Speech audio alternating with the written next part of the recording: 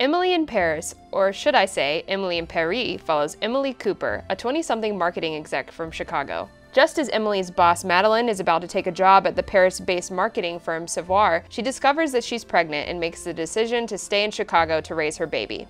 And so, Emily takes the job and relocates to France. She creates the Emily in Paris Instagram account to chronicle her new life, but things aren't quite as magical as she first anticipated. Her bright and upbeat demeanor immediately puts her at odds with her new boss Sylvie. Sylvie seems to be stuck in her old ways and grows resentful of Emily's creative new ideas and wholesome charm winning over both old and new clients for Savoir.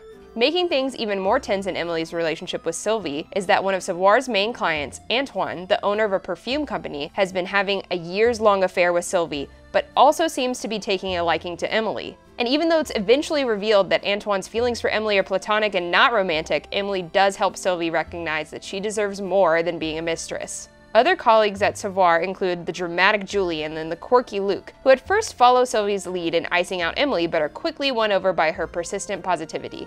Meanwhile, Emily's Instagram account is gaining followers fast, leading to Emily becoming an influencer in her own right, allowing her to use her newfound clout to bring in new clients for Savoir. While things are going great for her professionally, Emily's personal life is a bit more complicated. Dealing with cultural differences and a language barrier lead Emily to feeling like an outcast. Luckily, she befriends Mindy, the daughter of a wealthy Chinese family who now works as a nanny in Paris. Mindy had big dreams of being a professional singer, but after an embarrassing performance on China's biggest singing competition show, she abandoned her dreams and moved to Paris to live a simpler life. Mindy helps introduce Emily to all of the fun that Paris has to offer. In moving to Paris, Emily left behind her boyfriend Doug in Chicago with the intention of having a long distance relationship. But the distance becomes too much for Doug, and the two break up, leaving Emily single in the most romantic city on earth.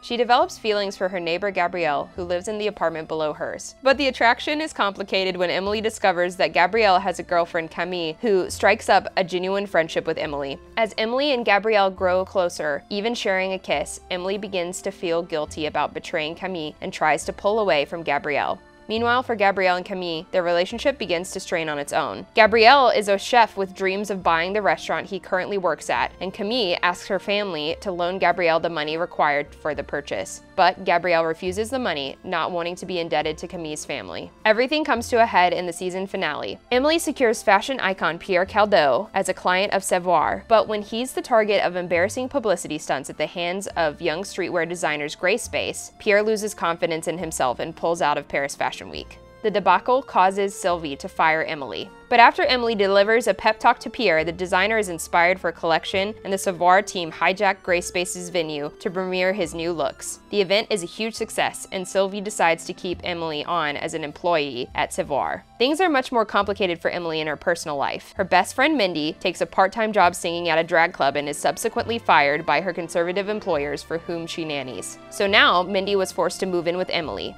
Emily also begins a burgeoning relationship with Pierre's nephew Mathieu, who after a huge success of Fashion Week, offers to whisk Emily away to a romantic vacation in Saint-Tropez. Gabriel, meanwhile, decides to buy a cheaper restaurant in Normandy, leading to his imminent departure from Paris. This fractures his relationship with Camille, and knowing that this could be the last time she would see Gabriel, Emily decides to give in on her feelings and sleep with him. But on the day of Gabriel's departure, he gets an offer from Antoine to invest in his Paris restaurant, meaning Gabriel would be staying around after all. And so, as season one comes to a close, Emily is caught between her loyalty to her friend Camille, her burgeoning relationship with Mathieu, and her true feelings for Gabriel.